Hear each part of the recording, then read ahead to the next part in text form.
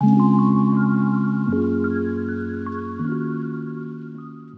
guys, welcome back to our channel. As you would have seen in the title, I'm going to show you how we put on and use the Halti head collar for my German Shepherd Kyzer. As you can see, you've got the branding on the left hand side in red, Halti.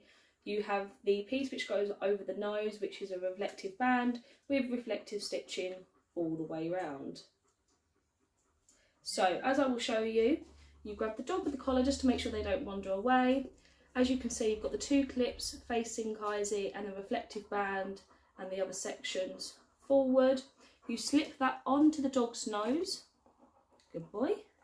And then the two clips behind the dog's ears will snap into place. As I will show you, you will have a ring here which the lead will go onto and then there's a little ring under the chin which will tighten if the dog pulls. As you will see here, there's an extra clip which will go onto the collar as an extra security to make sure if the dog does slip out of the Halti collar that it is still attached um, onto the collar. So what you can do, put your Halti training lead on one and the, sit down, he thinks we're going out for a walk now, sit down. And then put the other clip here. So then you are protected in case he slips out of the collar, you still attach to Kaisi or your dog on the head collar or vice versa. If he slips out the head collar, you've still got him on the normal collar.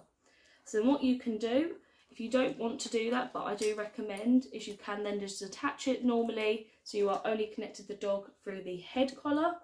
As you can see, it isn't too tight. It will loosen and it will be able to stretch and it is also adjustable behind the dog's ear which you can do whilst it's on or before you put it on the dog. This is the head collar with the lead attached. It is all black. I don't know if you can get other colours like a red or a blue but that is slightly padded underneath um, so it doesn't put too much pressure and Kyzer is very relaxed and used to it. Sometimes he might rub against on the grass but nothing aggressively and he always sees it as a positive thing when he puts it on. Thank you for watching. I hope you enjoyed this video and we'll see you next time. Bye!